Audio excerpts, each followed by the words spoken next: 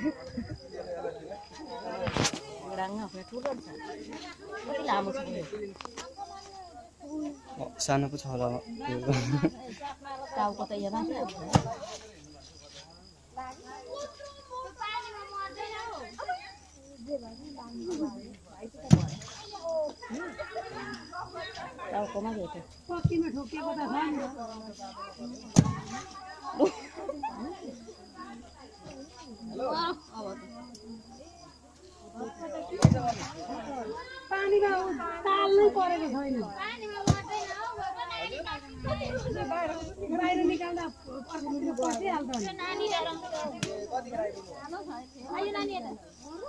के गर्छ यहाँ माथि आउँछ अँगालामा साब उफ्रेर?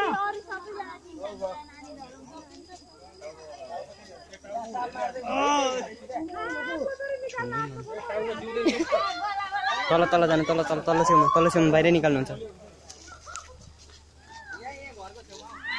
गाड़ी भी नहीं आती